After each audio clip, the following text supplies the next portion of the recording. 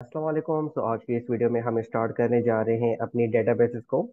सो so, यहाँ पे सबसे पहले एक चीज़ मैं क्लियर करना चाहूँगा वो ये कि अभी हम करंटली जिस पैटर्न के थ्रू काम कर रहे हैं उसमें हमने तकरीबन जो चीज़ें कवर की हैं वो कुछ ये वाली हैं। हमने एचटीएमएल की बेसिक्स कवर कर ली है। उसके बाद हमने पीएचपी की जो बेसिक्स है वो हमने कवर कर ली। उसके बाद फिर हमने जो है वो फॉर्म्स को देखा थोड़ा बहुत। और फिर हमने पीएचपी की जो इंटरमीडिएट है, उसको हमने देखा। बल्कि पोस्ट गेट ये भी मेरे ख्याल में बेसिक्स में ही आता है। लेकिन बेसिक्स जो है, वो आपकी होती है एरेस फ़ंक्शन तक। लेकिन जो पीएचपी के जो पोस्ट हम जो ग्लोबल वेरिएबल पढ़े, वो इंटरमीडिएट लेवल जो है, वो आपकी स्टार्ट हो चुकी है यहाँ से। ठीक है, और अब यहाँ पे आगे मूव ऑन करने से पहले यहाँ पे हम स्टार्ट करेंगे डेटाबेसेस को। और डेटाबेस को स्टार्ट करने के बाद हम वापस आ जाएँगे। इन टॉपिक्स को कवर करेंगे। फॉर्म्स होंगे और पीएचपी का जो इंटरमीडिएट लेवल है, इसके थ्रू हम क्या करने वाले हैं? एक मिनी प्रोजेक्ट जो है वो डेवलप करेंगे। और डेटाबेसेस के बाद जो है, हम आगे मूव करेंगे। जब तो वहाँ पे हम बूटस्ट्रैप भी देखेंगे सी एस एस भी देखेंगे जावास्क्रिप्ट भी देखेंगे जेक्यूरी भी देखेंगे। मतलब हम जिस पैटर्न से चल रहे हैं, उसमें हमारा जो मेन फोकस है वो ये है कि हम ये सिर्फ़ प्रोग्रामिंग लैंग्वेज नहीं सीखें बल्कि ये भी साथ में सीखते हुए चलें कि किस तरह से हम जो है वो चीज़ों को कंबाइन करके रियल वर्ल्ड प्रोजेक्ट्स डेवलप कर सकते हैं। क्योंकि अगर मैं आपको ये इस पैटर्न के थ्रू नहीं लेके चलूँगा तो इससे ये होगा आपका कि आपका जो इंटरेस्ट है वो खराब होता जाएगा। मतलब अगर मैं आपको बोरिंग चीज़ें करवाऊँगा तो आपका इंटरेस्ट आफ्टर फ्यू वीडियोस वो आपका खत्म हो जाएगा और प्रोग्रामिंग में आपका जो है वो दिल नहीं लगेगा। सो so, मेरा मेन टारगेट ये है कि चीज़ों को इंटरेस्टिंग वे में करके आपको सिखाना ताकि आपका जो न सिर्फ़ बल्कि आपको उसमें मज़ा आए बल्कि रियल वर्ल्ड प्रोजेक्ट्स जो है वो डेवलप करके आप उनको अपनी सीवीज में लगा सकते हैं। और अगर आप एज अ फ्रेश ग्रेजुएट जाएँगे तो आपकी सीवी में फाइनल ईयर प्रोजेक्ट के साथ साथ आपके पास आठ दस और प्रोजेक्ट्स भी होंगे जो कि आपको दूसरे लोगों से यूनिक करेंगे। ठीक है तो यहाँ पे इसको अ, काफ़ी बातें होगी। अब आते हैं अपने डेटाबेसेस की तरफ़। तो अगर मैं आपको टिपिकल इसकी डेफिनेशन दिखाऊँ तो वो ये होती है, A database is an collection of structured information और data. तो इस चीज़ को अगर मैं यहाँ पे एक्सप्लेन करने की कोशिश करूँ तो वो ये कि भाई डेटाबेस एक ऐसी जगह है जहाँ पे ऑर्गेनाइज्ड कलेक्शन होती है आपकी इंफॉर्मेशन की या डेटा की, जो कि टिपिकली स्टोर्ड होती है इलेक्ट्रॉनिकली कंप्यूटर सिस्टम्स में तो ये थी किताबी चीज़ लेकिन मुझे पता है कि ये चीज़ काफ़ी लोगों के सर से गुजर गई होगी तो सिंपल वर्ड्स में हम, मैं आपको इसको समझाने की कोशिश करता हूँ। डेटाबेस एक ऐसी जगह है जहाँ पे आपका जो डेटा है वो स्टोर होता है। जिस तरह से घर होता है हमारा तो वहाँ पे हम रहते हैं, इंसान रहते हैं, और अगर डॉग हाउस हो तो वहाँ पे डॉग्स रहते हैं। सेम तरीके से अगर आप एग्जांपल ले लें, एयरबेस की तो एक ऐसी जगह जहाँ पे फाइटर जेट्स आपके रिजाइड करते हैं मतलब खड़े होते हैं। ठीक है मतलब कोई भी ऐसी जगह जहाँ पे आप अपना डेटा जो है वो स्टोर कर सके ऑर्गेनाइज वे में। दूसरी एग्जांपल मैं आपको देना चाहूँगा अलमारी की।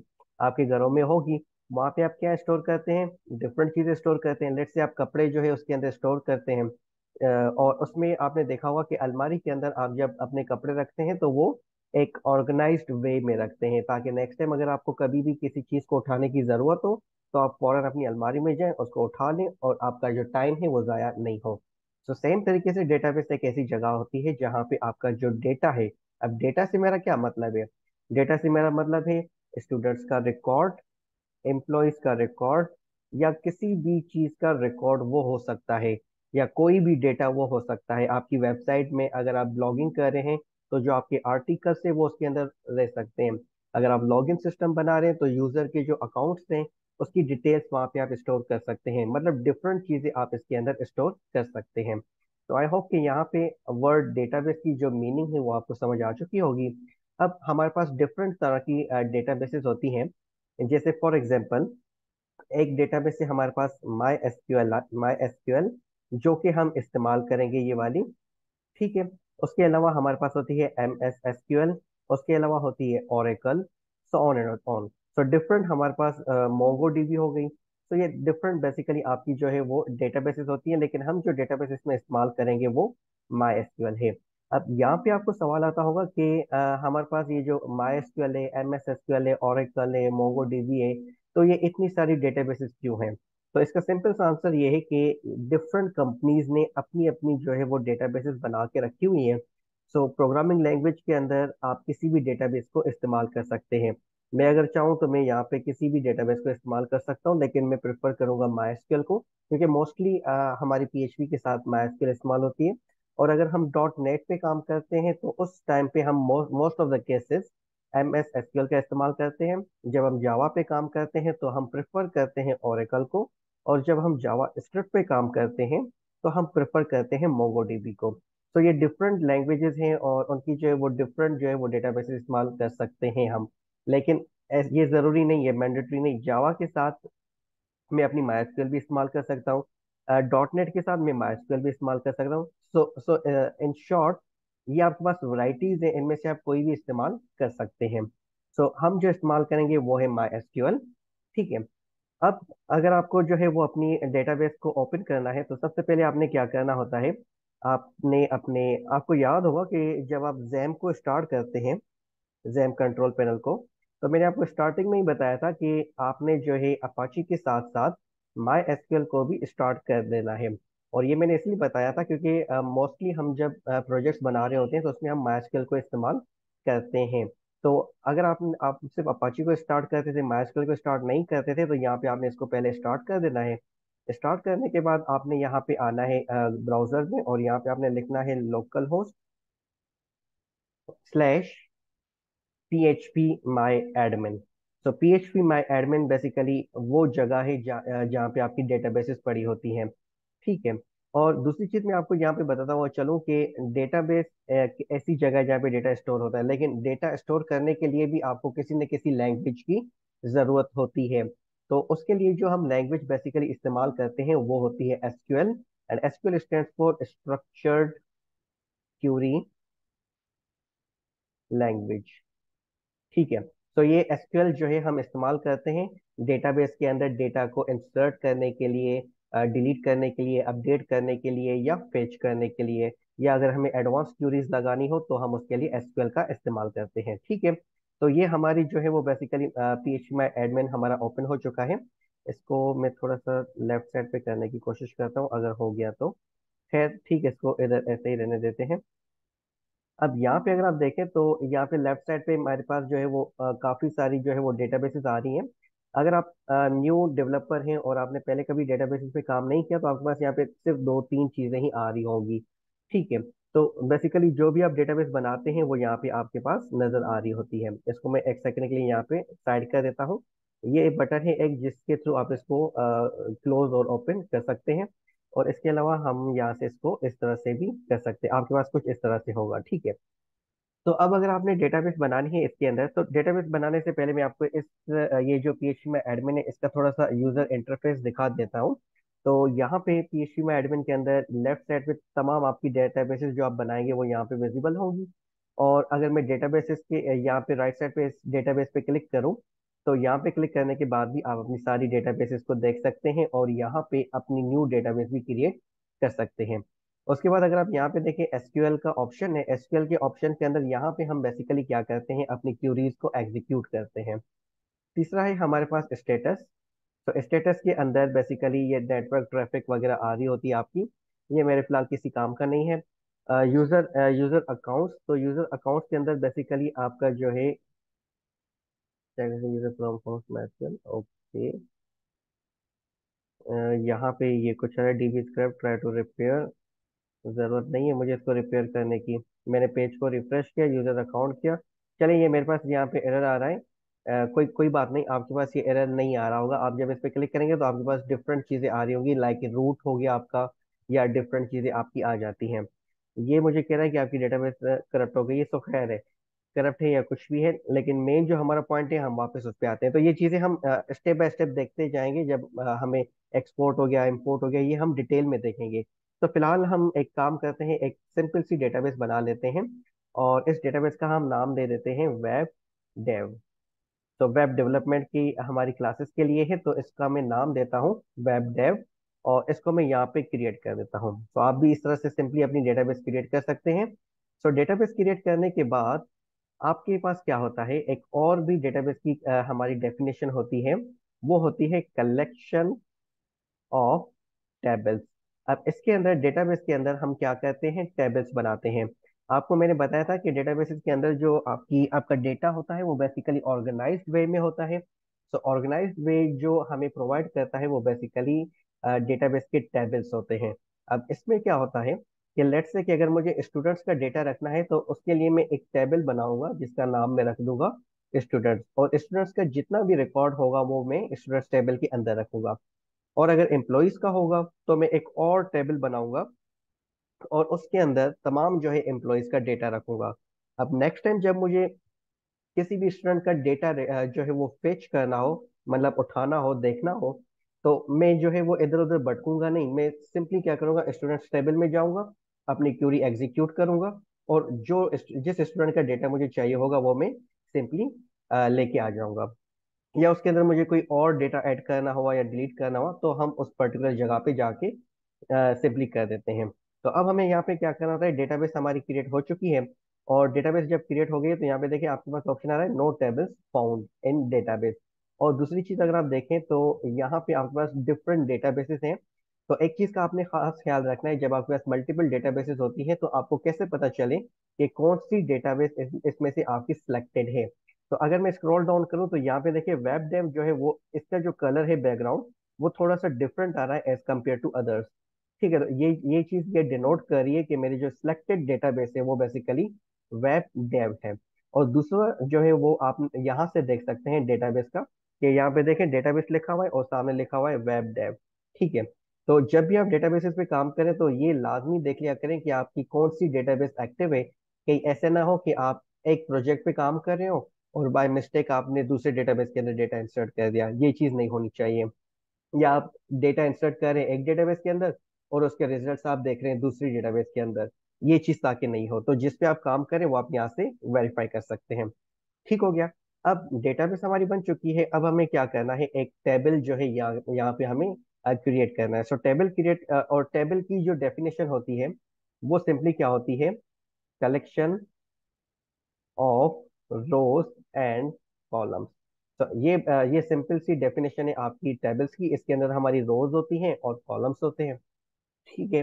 तो यहाँ पे हम क्या करेंगे कि अपने अपनी जो है वो इसका नाम रखेंगे टेबल का। सो टेबल का मैं नाम दे देता हूँ स्टूडेंट्स और इसके अंदर कितने कॉलम्स आने वाले हैं? कॉलम्स का मतलब ये होता है कि लेट्स से कि मुझे इसके अंदर जो रिकॉर्ड रखना है वो है स्टूडेंट का नाम और इसके फादर का नाम। और इसकी जो, इसका जो है वो सरनेम रखना है, इसका जेंडर रखना है मुझे तो ऑन एंड ऑन तो ये देखें, चार चीज़ें मुझे इसके अंदर रखनी है दैट मीन्स के इसके चार कॉलम्स आपके हो गए। लेट्स से कि इसके अंदर मुझे एक और चीज़ रखनी हो लेट्स से कि क्लास कौन सी है इसकी तो उसके लिए मेरा अलग कॉलम होगा। और अगर मुझे इसका रखना है डिपार्टमेंट तो उसका एक अलग कॉलम होगा। तो जितनी जितनी चीज़ें आपने स्टूडेंट का डेटा जितना रखना होगा मतलब first name last name so on and on तो जितनी चीज़ें आपने रखनी होगी, उतने बेसिकली आपके कॉलम्स जनरेट होते हैं। तो यहाँ पे स्टूडेंट्स का टेबल है, इसके अंदर में जो, इसको मैं बिल्कुल सिंपल बनाने वाला हूँ। ज़्यादा कॉम्प्लिकेटेड नहीं करूँगा, क्योंकि ये आपकी, आपका जो है वो फ़र्स्ट टाइम है। तो मैं कोशिश करके इसको बिल्कुल सिंपल रखूँगा तो नंबर ऑफ़ कॉलम्स इसको मैं फोर ही रहने देता हूँ। तो इसको मैं गो कर देता हूँ, ठीक है? तो ये आपका जो है वो लोड हो रहा है, और यहाँ पे आपके पास कुछ इस तरह से स्क्रीन आ जाएगी। मैं आपको दिखाने के लिए इसको जो है वो हाइड कर रहा हूँ। और यहाँ पे देखें एक बहुत ही डरावनी जो है वो कॉलम्स आपके पास आ रहे हैं। तो इस, इसमें डरने की कोई भी बात नहीं है बिल्कुल ही सिंपल सा काम है। आप दो मिनटों में इसको सीख लेंगे। देखिए कितनी ज़्यादा चीज़ें आ रही हैं। तो फ़र्स्ट ऑफ़ ऑल आपके पास यहाँ पे क्या आता है? नेम कि भाई आप कॉलम का क्या नाम रखना चाहते हैं। तो यहाँ पे सबसे पहले आप जब भी कोई भी टेबल बनाए ये चीज़ रख लें कि आपने उसकी जो उसका जो फ़र्स्ट कॉलम बनाना है वो बनाना है आईडी का। और आईडी बेसिकली क्या होती है? Word ID stands for identification. ठीक है? और इस आईडी आईडी को हम बेसिकली क्या रखते हैं? प्राइमरी की रखते हैं। अब यहाँ पे काफ़ी लोगों को सवाल होगा कि भाई, ये प्राइमरी की किस बला का नाम है आखिर? और ये कहाँ से आ गई? तो प्राइमरी की नाम थोड़ा अजीब आपको लग रहा होगा, लेकिन अगर आप वर्ड की को देखें तो इसका मतलब है चाबी, और ये आपकी मेन चाबी है। तो मेन चाबी से मतलब इसका एग्जैक्टली exactly ये मतलब नहीं है, मज़ाक कर रहा हूँ। प्राइमरी की बेसिकली क्या होती है? इसका जो पर्पज होता है, वो ये होता है कि आपके डेटाबेस के टेबल के अंदर ये आपकी डुप्लीकेशन को रोकती है।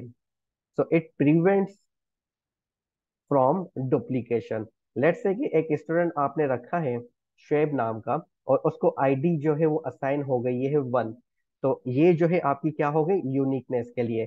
सो सिंपल वर्ड्स में, मैं आपको रियल वर्ल्ड एग्जांपल दे रहा हूँ। आपके पास होते हैं C N I C number C N I C number मतलब शनाख्ती कार्ड नंबर या आपके पास होते हैं पासपोर्ट नंबर क्या आपने कभी ऐसे देखा है कि जो शनाख्ती कार्ड नंबर है, वो दो लोगों का सेम हो? क्या कभी ये पॉसिबल हुआ है? या लेट्स से शुएब का जो सी एन आई सी नंबर है, वो one two three four five है और एक दूसरा बंदा है जुनेद उसका भी जो सी एन आई सी नंबर है, वो भी one two three four five हो. क्या ये पॉसिबल है? So it is not possible ये पॉसिबल नहीं है. और ये सी एन सी नंबर जो बेसिकली हमें हमारी गवर्नमेंट देती है वो इसलिए देती है कि भाई शुएब नाम के तो हज़ारों लाखों लोग होंगे पाकिस्तान के अंदर और अगर आप देखें तो उनकी कास्ट भी सेम हो सकती है उनकी एज भी सेम हो सकती है। तो डिफरेंट चीज़ें पॉसिबल हैं।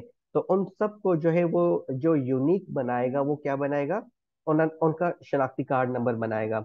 सो लेट्स से कि अगर अगर दो शुएब हैं तो उनका जो शनाख्ती कार्ड नंबर है, वो इट इज़ वेरी ऑब्वियस कि वो डिफरेंट होंगे।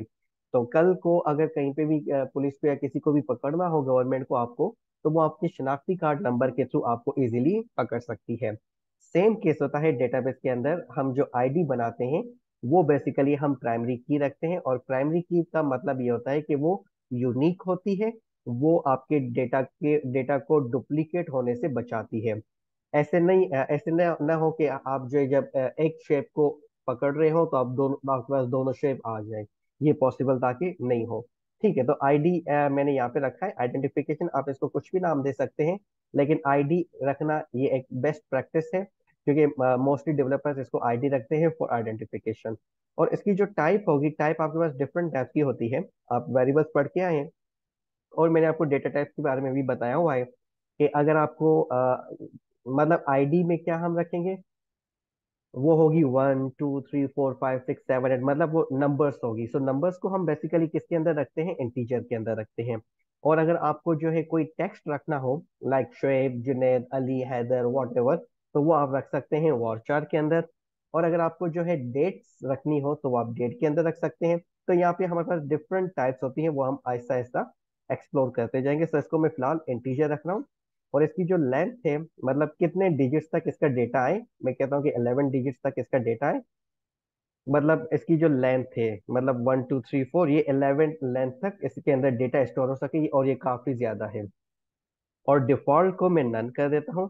बाकी चीज़ों को आप फ़िलहाल के लिए इग्नोर कर दें और इसको आप स्क्रॉल राइट करें। और यहाँ पे आप देखें ए आई का ऑप्शन है। A I stand for auto increment auto increment का मतलब ये होता है ऑटो इंक्रीमेंट इसका बेसिकली मतलब होता है कि आईडी के अंदर आपको आईडी की वैल्यू सेट करने की आपको ज़रूरत नहीं होती, वो ऑटोमेटिकली आपकी जो डेटाबेस है, इस चीज़ को हैंडल कर रही होती है। तो अगर आप फ़र्स्ट रिकॉर्ड इसके अंदर ऐड करेंगे मतलब पहला अगर आप स्टूडेंट इसके अंदर ऐड करेंगे तो ऑटोमेटिकली उसकी जो आईडी होगी, वो क्या होगी? वन हो जाएगी। जब आप दूसरा स्टूडेंट उसके अंदर ऐड करेंगे टेबल के अंदर तो उसको जो आईडी असाइन हो जाएगी, वो ऑटोमेटिकली टू हो जाएगी। फिर थ्री हो जाएगी, फिर फोर फिर फाइव ये मतलब ऑटोमेटिकली होगी। ये हमें करने की ज़रूरत नहीं होगी। और इसको ऑटो इंक्रीमेंट करना बहुत इंपॉर्टेंट है। और जैसे आपने इसको ऑटो इंक्रीमेंट किया तो देखिए यहाँ पे इसको प्राइमरी की असाइन हो चुकी है। मतलब ये अब आपकी प्राइमरी की बन चुकी है। ठीक है। और ऑटो इंक्रीमेंट हम इसलिए करते हैं कि लेट से अगर आप इसको ऑटो इंक्रीमेंट नहीं करेंगे और आप चाहते हैं कि भाई आप खुद इन वैल्यूज़ को सेट करें तो पॉसिबिलिटी है लेट से कि मैं आपको दस हज़ार रिकॉर्ड्स दे दूँ कि भाई आपने दस हज़ार रिकॉर्ड्स इसके अंदर टेबल के अंदर ऐड करने हैं और आपके पास तीन दिनों का टाइम है। लेट से कि एक सुबह में आप बैठे और शाम तक आप जो है उसमें डेटा रिकॉर्ड करते हुए गए और आपने जाके इसको स्टॉप किया फाइव सेवन एट फोर पे। अब नेक्स्ट डे पे आप आ गए तो आपको क्या करना होगा? फिर जाके देखना होगा कि कहाँ पे आपने लास्ट टाइम छोड़ा था। मतलब ह्यूमन एरर्स के चांसेस ज़्यादा होता है। सो इन शॉर्ट आप इसको कभी भी मैनुअल नहीं रखिएगा, आप इसको हमेशा ऑटो इंक्रीमेंट रखिएगा। उसके बाद आते हैं यहाँ पे मैं रखने वाला हूँ स्टूडेंट का नाम। तो स्टूडेंट का नेम जो है वो आपका आ गया। और इसके अंदर मैं स्टूडेंट का नाम रखूँगा तो उसको मैं इंटीजर नहीं रख सकता। इसको मैं यहाँ पे रख देता हूँ varchar varchar basically string values के लिए होता है। और इसके अंदर आप जो है लेंथ सेट करेंगे कि कितनी लेंथ तक आपका जो नाम है वो हो सकता है। सो so, पाकिस्तान में मुझे नहीं लगता कि किसी भी स्टूडेंट का नाम हंड्रेड करेक्टर से ऊपर होगा। ठीक है? और उसके बाद हम वापस आ जाते हैं नीचे और यहाँ पे मैं सेट कर देता हूँ एक और जो है कॉलम का नाम और यहाँ पे हम रख देते हैं। लेट्स से फादर नेम और यहाँ पे भी वॉरचॉर में रख रहा हूँ और इसको भी हंड्रेड लेंथ दे रहा हूँ और उसके बाद में यहाँ पे दे रहा हूँ सिंपली जेंडर और जेंडर के अंदर हम सिंपली मेल एंड फीमेल रखेंगे तो मैक्सिमम आपके जो है वो सिक्स कैरेक्टर्स आएँगे, लेकिन मैं इसको फिर भी टेन कर देता हूँ। ठीक है तो देखिए ये आपका टेबल टेबल की हमने सारे कॉलम्स ऐड कर दिए लेट्स से कि ये सारी चीज़ें लिखने के बाद आपको याद आता है कि आपको कोई और कॉलम भी ऐड करना चाहिए था तो उसमें आपने घबराना नहीं है सिंपली आप देखें ऊपर आपके पास यहाँ पे ऐड वन है और यहाँ पे देखिए कॉलम्स तो आप यहाँ पे जब गो करेंगे तो यहाँ पे देखिए एक और कॉलम आपके पास ऐड हो गया है और यहाँ पे आप उसकी फर्दर डिटेल्स कुछ भी अगर आप लिखना चाहें लेट से ईमेल एड्रेस तो वो भी आप इसके अंदर रख सकते हैं और इसको भी मैं वॉरचार करूँगा और ईमेल एड्रेस कितनी बड़ी हो सकती है? आई डोंट थिंक सो कि हंड्रेड करेक्टर से ज़्यादा कोई अपनी ईमेल एड्रेस बनाएगा। ठीक है, लेकिन मैक्सिमम आप इसके अंदर 255 तक का रख सकते हैं। और उसके बाद हम इसको सिंपली क्या कर देते हैं? सेव कर देते हैं। तो इसको मैंने स्क्रॉल डाउन किया तो देखिए यहाँ पे सेव का बटन है। यहाँ पे आप इसको सेव कर दें। सेव करने के बाद यहाँ पे आप देखें तो आपका जो टेबल है वो बन चुका है। तो एक सेकंड के लिए मैं इसको थोड़ा सा जूम आउट कर रहा हूँ और यहाँ पे मैं इसको लेफ़्ट uh, कॉलम को शो करा करा रहा हूँ आपके लिए। तो यहाँ पे देखिए वेब डेव आपकी डेटाबेस है इसके अंदर एक टेबल आपका ऐड हो चुका है स्टूडेंट्स का। तो इस टाइम पे अगर मैं स्टूडेंट्स पे क्लिक करूँ तो ये देखिए आपके पास ये वाला जो है इस तरह की स्क्रीन आ जाएगी अगर मैं स्टूडेंट्स के टेबल पे क्लिक करूँगा तो। तो इस टाइम पे कोई भी इसके अंदर रिकॉर्ड नहीं है दैट्स वाई ये आपको कुछ इस तरह से नज़र आ रहा है। तो अगर मुझे इसका स्ट्रक्चर देखना है तो मैं स्ट्रक्चर पे क्लिक करूँगा और यहाँ पे मैं स्ट्रक्चर देख सकता हूँ कि मैंने कौन से कॉलम्स रखे हुए और उनको मैंने कौन सी वैल्यूज़ दी हुई हैं। तो देखें, यहाँ पे आईडी आपकी बनी हुई है और आईडी के आगे आपकी एक गोल्डन चाबी लगी हुई है, जो कि ये चीज़ डिनोट करिए कि ये आपकी प्राइमरी की है। प्राइमरी की हमेशा हमेशा गोल्डन कलर की चाबी होती है। और यहाँ पे अगर आप देखें एक्स्ट्रास के अंदर ऑटो इंक्रीमेंट भी लिखा हुआ है, ठीक है? तो अब आते हैं एसक्यूएल के अंदर। ये जो आपका एसक्यूएल का ऑप्शन है इस, इस पे मैं जो है वो क्लिक करता हूँ बटन पे। और ये चीज़ आप देखें कि आप इस टाइम पे कौन सी डेटाबेस के अंदर है? डेटाबेस आपकी है वेब डेव और इसके अंदर जो टेबल है आपका वो है स्टूडेंट्स का। अब इसके अंदर मैं आपको दिखाने वाला हूँ कुछ एसक्यूएल जो मैंने आपको बताया था कि आप जब डेटाबेस पे काम करते हैं तो वहाँ पे जो आपकी लैंग्वेज इस्तेमाल होती है वो होती है एसक्यूएल। कौन सी एसक्यूएल? ये लैंग्वेज आपकी बेसिकली इस्तेमाल होती है। तो इसके अंदर हम क्या करते हैं? क्यूरीज बेसिकली अपनी एग्जीक्यूट करते हैं कि क्या चीज़ हमें बेसिकली परफॉर्म करनी है। तो इसको मैं थोड़ा सा जूम आउट करता हूँ, इतना काफ़ी है। अब मैं आपको ये दिखाने वाला हूँ इसके अंदर इंसर्ट की क्यूरी हमारे पास डिफरेंट क्यूरीज होती हैं डिफरेंट पर्पजेस के लिए। तो अगर मुझे डेटा इंसर्ट करना है तो उसके लिए जो हम क्यूरी लगाते हैं वो होती है इंसर्ट अगर हमें डेटा फेच करना हो मतलब डेटा लेकर आना हो तो उसके लिए हम लगाते हैं सेलेक्ट की क्यूरी अगर हमें डेटा को अपडेट करना है मतलब एडिट करना है तो उसके लिए हम अपडेट की क्यूरी लगाते हैं। और अगर हमें डेटा को डिलीट करना है तो उसके लिए हम डिलीट क्यूरी लगाते हैं। इन चारों क्यूरीज को मिला के हम इनको एक शॉर्ट नाम देते हैं, जो कि हम कहते हैं क्रूड ऑपरेशन तो क्रूड ऑपरेशन का बेसिकली मतलब ये होता है सी स्टैंड फॉर क्रिएट तो यहाँ पे तो ये क्रूड नहीं है टेबल क्रिएट करना, वो हम देख चुके हैं ऑलरेडी और दूसरा होता है R stand for retrieve retrieve मतलब आपका जो सिलेक्ट है सिलेक्ट भी आप इसको कह सकते हैं, आप इसको रिट्रीव भी कह सकते हैं। और उसके बाद है आपकी जो है वो अपडेट और उसके बाद है डिलीट ठीक है, ये बेसिकली क्रूड ऑपरेशन का मतलब होता है। तो यहाँ पे हम सिंपली क्या करते हैं, अब एक क्यूरी लगा के देखते हैं कि डेटाबेस में अगर आपको डेटा इंसर्ट करना हो तो वो आप किस तरह से कर सकते हैं। तो सिंपल क्यूरी है बिल्कुल। आप सिंपली यहाँ पे क्या करें इंसर्ट लिखें। और दूसरी चीज़ अगर आप यहाँ पे नोट करें तो मैं जब इंसर्ट लिख रहा हूँ मतलब जब मैं एसक्यूएल का कोड लिख रहा हूँ तो उसको मैं कैपिटल राइटिंग में लिख रहा हूँ। तो ये रिकमेंडेड होता है कि जब आप एसक्यूएल पे काम करें तो एसक्यूएल की जब आप कीवर्ड्स इस्तेमाल कर रहे हैं तो उनको हम कैपिटल राइटिंग में लिखते हैं। ये एक बेस्ट प्रैक्टिस है। लेकिन इसका मतलब ये नहीं है कि अगर मैं इसको स्मॉल में लिखूँगा तो ये नहीं चलेगा। ये स्मॉल में भी चलेगा। लेकिन हम अपनी बेस्ट प्रैक्टिस को ही इस्तेमाल करेंगे तो मैं इसको कैपिटल राइटिंग में लिख रहा हूँ। तो यहाँ पे मैं लिख रहा हूँ इंसर्ट और फिर इंसर्ट के बाद हम लिखते हैं इनटू और फिर यहाँ पे आपका आ जाता है टेबल का नाम और इस टाइम पे हम किस टेबल पे काम कर रहे हैं? यहाँ पे ऊपर आप देखें तो हमारे टेबल का नाम क्या है? स्टूडेंट्स तो इसके अंदर मुझे डेटा जो है वो ऐड करना है तो यहाँ पे टेबल नेम की जगह पे मैं क्या लिख दूँगा? स्टूडेंट्स लिख दूँगा। ठीक है? उसके बाद आपके पास यहाँ पे पैरेंथेसिस आ जाती है और इसके अंदर आप अपने कॉलम्स के नाम देते हैं। Column one column two, column three मतलब जो जो जितने भी आपके कॉलम है और जिनके अंदर आप वैल्यू इंसर्ट करना चाह रहे हैं, ठीक है? और फिर आपके पास यहाँ पे क्या आता है? वैल्यूज़, और इस वैल्यूज़ के अंदर हम बेसिकली क्या करते हैं? अपनी एक्चुअल वैल्यूज़ जो है वो स्टोर करते हैं। लाइक वैल्यू वन हो गई आपकी, और फिर वैल्यू टू हो गई सो ऑन एंड ऑन तो अब इसको हम फाइनल करते हैं कैसे? कॉलम वन की जगह पे मैं सिंपली क्या करता हूँ? हमारे पास अगर हम राइट साइड पे देखें तो ये चार कॉलम्स आ रहे हैं। मैंने आपको बताया था कि आईडी को हम जो है वो ऑटो इंक्रीमेंट कर रहे हैं। तो आईडी को ऑटो इंक्रीमेंट किया था तो अब हमें इसकी टेंशन लेने की ज़रूरत नहीं है। माइस्क्यूएल ऑटोमेटिकली इसके अंदर जो है वो वन टू थ्री ऐड करता जाएगा। सो so, इसकी मुझे टेंशन नहीं है लेनी। उसके बाद हमारे पास जो दूसरा कॉलम है वो है स्टूडेंट नेम तो मैं इसके ऊपर डबल क्लिक कर रहा हूँ। तो देखिए आपका जो स्टूडेंट नेम है वो यहाँ पे आ चुका है। उसके बाद मुझे यहाँ पे क्या करना होगा? कॉमा देना होगा। और मैं यहाँ पे फादर नेम को डबल क्लिक कर रहा हूँ तो देखिए फादर नेम आपका आ गया, फिर मैंने कॉमा दिया, और फिर मैं जेंडर पे क्लिक कर रहा हूँ, कॉमा दिया एंड देन लास्ट में मैंने कर दिया ईमेल एड्रेस तो देखिए चारों कॉलम्स के जो मैंने नाम है, वो मैंने यहाँ पे रख दिए हैं, और फिर हमें क्या करना है, यहाँ पे आप देखें वैल्यूज़ आपकी आ रही है तो इन वैल्यूज़ को अंदर आपने वैल्यूज़ रखनी है, लेकिन सीक्वेंस का आपने खास ख्याल रखना है। तो यहाँ पे अगर आपका फ़र्स्ट कॉलम स्टूडेंट नेम है तो यहाँ पे जो फ़र्स्ट वैल्यू आपकी आएगी, वो स्टूडेंट का ही नाम आपने रखना है। और अगर यहाँ पे सेकंड जो कॉलम है वो फादर नेम है तो यहाँ पे आपने सेकंड वैल्यू फादर का नाम ही देना है। अगर आपने यहाँ पे फ़र्स्ट जो है वैल्यू जो आपने दी है वो अगर फादर का नाम दे दिया तो वो आपका स्टोर हो जाएगा स्टूडेंट स्टूडेंट नेम के अंदर।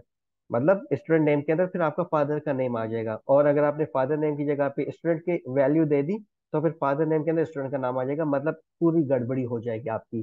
तो सीक्वेंस का आपने खास ख्याल रखना है इसके अंदर। तो स्टूडेंट का स्टूडेंट यहाँ पे एक ऐड कर देते हैं. लेट से यहाँ पे मैं ऐड करता हूँ आरिफ को. और ये मैंने सिंपली सिंगल कोटेशन के अंदर आरिफ लिख दिया है कॉमा दिया. उसके फादर का नाम मैं दे रहा हूँ. लेट से कुछ भी हो सकता है. अहमद कर देते हैं. और इसका जो जेंडर है वो मैं दे रहा हूँ मेल और उसकी जो ईमेल एड्रेस है वो मैं दे रहा हूँ R F at the rate live dot com ठीक हो गया. अगर यहाँ पे मैं नम अगर यहाँ पे मेरे पास कोई नंबर होता तो उसको मैं सिंगल या डबल कोटेशन में नहीं लिख रहा था, उसको मैं डायरेक्टली इस तरह से लिख रहा होता। ठीक हो गया? तो इसको मैंने यहाँ पे अपनी क्यूरी मैंने लिख दी है। अब हम सिंपली क्या करते हैं, इसको एग्जीक्यूट करके देखते हैं।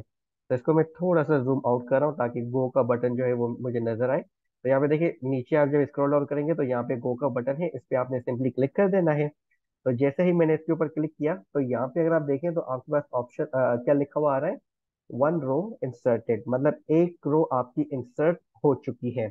अब ये रिकॉर्ड देखने के लिए हम सिंपली क्या करते हैं, यहाँ पे देखिए ब्राउज का बटन है, इस पर आप क्लिक कर दें और यहाँ पे अगर आप देखें तो आपका जो डेटा है वो आपको नज़र आना स्टार्ट हो गया है। तो यहाँ पे आपको ये दिखा रहा है कि भाई एक स्टूडेंट है, उसका नाम है आरिफ उसके फादर का नाम है अहमद उसकी जेंडर है मेल उसकी ईमेल एड्रेस है Arif at the rate live dot com तो देखा आपने कितना सिंपल है डेटाबेस के अंदर डेटा को इंसर्ट करना। अब यहाँ पे हम क्या करते हैं, एक दो और स्टूडेंट्स ऐड कर लेते हैं। तो इंसर्ट करने के लिए दो ऑप्शन है। एक तो एक तो ऑप्शन ये था कि मैं एसक्यूएल के अंदर आ जाऊँ और यहाँ पे मैं अपनी क्यूरी जो है वो लिखूं। तो बेस्ट प्रैक्टिस यही है कि आप जो है क्यूरीज के ऊपर फोकस किया करें। ड्रैगन उस पर जो है, क्या कहते हैं इसको फॉर्म्स की तरफ़ नहीं आया करें ताकि आपको क्यूरीज याद हो सके। लेकिन फ़िलहाल मैं क्या कर रहा हूँ, यहाँ पे दो स्टूडेंट्स मुझे और ऐड करने हैं तो वो मैं यहाँ पे जल्दी से ऐड कर देता हूँ। स्टूडेंट का नाम है लेट से अली इसके फादर का नाम है फॉर एग्ज़ाम्पल अस्कर और इसका इसका जो जेंडर है, वो मेल है। और यहाँ पे इसकी ईमेल एड्रेस है Ali at the rate live dot com और एक और यहाँ पे हम एक जो है, वो स्टूडेंट ऐड कर लेते हैं लेट से साइमा इसके फादर का नाम लेट से खान है और इसकी, इसका जो जेंडर है वो फीमेल है और इसकी ईमेल एड्रेस है Fatima at the rate live dot com और यहाँ पे मैं इसको गो करता हूँ तो दो रिकॉर्ड्स देखें आपके ऐड हो चुके हैं। तो यहाँ पे अगर मैं ब्राउज पे आ जाऊँ तो यहाँ पे आप देखें, अब आपके पास यहाँ पे तीन जो है वो स्टूडेंट्स का तीन स्टूडेंट्स के रिकॉर्ड्स आ चुके हैं। अब लेट से कि मुझे सारा डेटा फेच करना है यूजिंग क्यूरी तो वो हम किस तरह से कर सकते हैं? एसक्यूएल के अंदर में आ गया। और यहाँ पे देखें, आपके पास ऑप्शन आ रहा है सेलेक्ट स्टार फ्रॉम स्टूडेंट्स तो इसका मतलब है कि अगर अगर मैं ये क्यूरी एग्जीक्यूट करूँगा तो सिलेक्ट का मतलब बेसिकली क्या होता है? सिलेक्ट का मतलब कि भाई सिलेक्ट करो। स्टार स्टार जो यहाँ पे लगा हुआ है एस्ट्रिक्स इसका मतलब बेसिकली होता है कि सारे columns ID student name father name gender email address ठीक है, ये सारे कॉलम फ्रॉम स्टूडेंट मतलब स्टूडेंट्स टेबल्स में से। तो इसको अगर मैं यहाँ पे आके गो करूँ तो आप देखिएगा कि आपके पास क्या आ रहा है। तो देखिए, सारे के सारे जो स्टूडेंट्स हैं उनके रिकॉर्ड्स आपके पास आ चुके हैं। वापस आते हैं एसक्यूएल के अंदर। अगर मुझे अभी स्टूडेंट्स के जो है वो स्टूडेंट नेम चाहिए और और इनकी ईमेल एड्रेस चाहिए, ये दो कॉलम्स मुझे चाहिए। तो वो हम किस तरह से कर सकते हैं? वापस मैं एसक्यूएल के अंदर आ गया और यहाँ पे हम सिंपली क्या करते हैं कि सेलेक्ट किया मैंने और यहाँ पे मैंने कर दिया स्टूडेंट नेम पे डबल क्लिक और फिर यहाँ पे मैं दे रहा हूँ कॉमा और यहाँ पे मैंने दे दिया ईमेल एड्रेस मतलब कि अब क्या होगा कि भाई सिलेक्ट करो स्टूडेंट नेम और ईमेल एड्रेस फ्रॉम स्टूडेंट्स मतलब सारे स्टूडेंट्स की जो स्टूडेंट नेम है और ईमेल एड्रेस से वो लेकर आए। इसको मैंने गो किया यहाँ पे। और यहाँ पे देखिए आपके पास तकरीबन सारे सारे स्टूडेंट्स का रिकॉर्ड आ गया, लेकिन सिर्फ़ उनका स्टूडेंट नेम आया है और ईमेल एड्रेस आया है। तो इस तरह से आप जो है वो अपना काम इसके अंदर इस तरह से डेटा को सिलेक्ट कर सकते हैं। और वापस मैं आता हूँ स्केल के अंदर और यहाँ पे मैं अभी आपको दिखाने वाला हूँ वेयर क्लॉज वेयर क्लॉज का मतलब ये होता है कि अगर आप यहाँ पे कंडीशन लगाना चाह रहे हैं तो कंडीशन में ये लगाना चाह रहा हूँ, मुझे वो स्टूडेंट चाहिए जिसकी आईडी है टू ठीक है? या मुझे वो स्टूडेंट चाहिए जिसकी ईमेल एड्रेस है R F at the rate live dot com मतलब कुछ भी हो सकती है यहाँ पे। तो यहाँ पे मैं क्या कर रहा हूँ select all from students where मैं कह रहा हूँ कि आईडी हो जिसकी टू तो टू आईडी पे जो भी स्टूडेंट होगा वो मेरे पास आ जाएगा। तो यहाँ पे मैं इसको गो करता हूँ। तो यहाँ पे आप देखें तो दो टू आईडी पे जो भी स्टूडेंट था वो अली असगर था तो वो आपके पास यहाँ पे आ चुका है। अब लेट से कि मुझे इस टू स्टूडेंट वाले का सिर्फ़ स्टूडेंट नेम और फादर नेम चाहिए तो वो हम कैसे करेंगे? सिंपल है बिल्कुल। तो यहाँ पे मैं स्टार की जगह पे क्या कर रहा हूँ? स्टूडेंट नेम और कॉमा और उसकी जो ईमेल एड्रेस है where I D is equal to two देख रहे हैं कितना ईजी है एसक्यूएल के ऊपर काम करना। इसको मैंने गो किया। तो ये देखें अली का जो नाम है और उसकी जो ईमेल एड्रेस है वो मेरे पास आ चुकी है। सो so, इस तरह से आप कुछ भी कर सकते हैं। लेट्स से कि वेयर के अंदर ज़रूरत नहीं है कि आप आईडी लिखें। आप ये भी कर सकते हैं। Where student name is equal to Ali. इस तरह से भी आप लिख सकते हैं। इसको अगर मैं गो करूँ तो मेरे पास कुछ इस तरह से देखें रिकॉर्ड आ गया मैंने वहाँ पे स्टार लगाया था दैट्स वाई देखें सारी चीज़ें मेरे पास यहाँ पे आ गई हैं।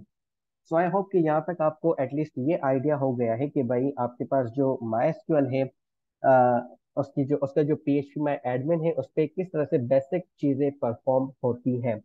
लेकिन हम जो आगे कोर्स में मूव करेंगे तो यहाँ पे हम अपने पी एच माई एडमिन पे इतना काम नहीं करेंगे।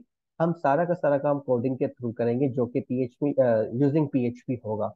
तो ये जो क्यूरीज अभी मैंने आपको यहाँ पे एग्जीक्यूट करके दिखाई ये बिल्कुल सेम क्यूरीज ही होंगी। लेकिन इनको हम एग्जीक्यूट करेंगे किसके अंदर? पीएचपी के अंदर। सो so, यहाँ पे इसको मैं पॉज कर रहा हूँ। मिलते हैं अगली वीडियो में। तब तक अपना ख्याल रखिएगा। अल्लाह हाफिज।